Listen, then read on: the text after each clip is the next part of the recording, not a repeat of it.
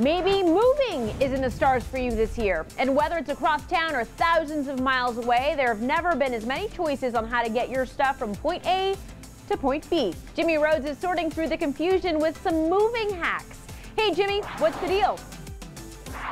Each year, about 45 million Americans move. This summer is going to be one of the busiest summers in a decade. Which means moving companies are cashing in. But moveBuddha's Ryan Carrigan has the hacks. First, remember that movers are a luxury item. Having someone carry everything for you, load it in the truck, that's a luxury. So if you can't afford that, do not look for some budget or bargain mover. Because that bargain can go bad if the wrong people show up. On the day of the move, when you really don't have any other options, the quote will go up. The quality of the company that's willing to do that type of bait and switch is typically way lower. So you have people in your home handling your things that you probably wouldn't want. If you can't afford moving, movers but don't want to do all that lifting, go semi-DIY. Rent a truck and hire labor separately. The big rental companies make it easy. They actually have in their checkouts online where you can hire labor. Emphasis on labor, not experience. They're not necessarily a moving crew, so they do require a little bit more hands-on coordination there. Congratulations, you're the crew captain. Moving on from trucks, think about containers. They do tend to be more expensive than a rental truck. But they can make sense if you don't have access access to your new place right away. You only end up doing one move, whereas if you were doing it in and out of a storage unit, you'd actually be paying for two moves. From the old place to the storage unit, then from the storage unit into the new place. But you only move once when the storage unit is dropped in your new driveway. Finally, there's no getting away from the complexity of moving.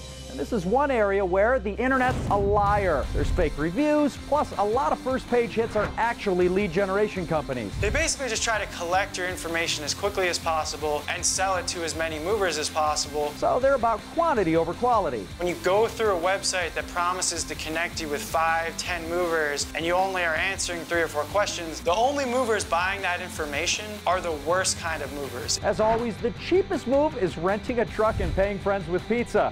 With your legs, it's What's the Deal?